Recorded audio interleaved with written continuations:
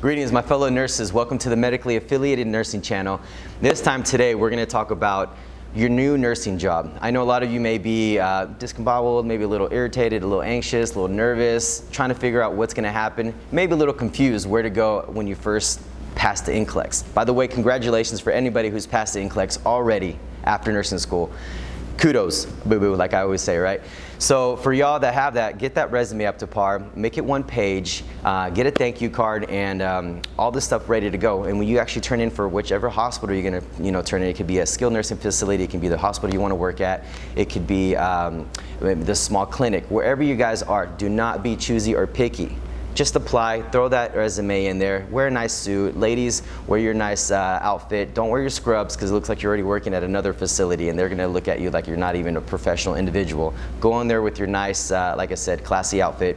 Don't make it too colorful. Just a, a plain black or white shirt, whatever it is that you wear, look professional and uh, make eye contact, give the direct resume to them. And what I always say is give them the thank you card right then and there so they know who you are.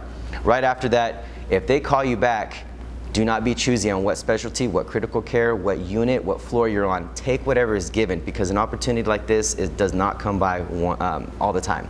And of course, while you're waiting, get some credentials. Get your ACLS, get your BLS, get your PALS.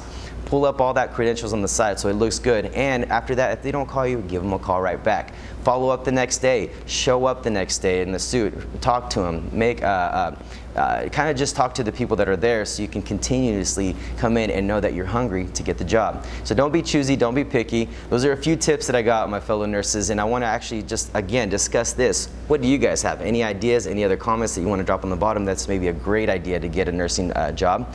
And uh, put that on the, on the description on the bottom, guys. My fellow nurses, don't forget to subscribe, like, and comment.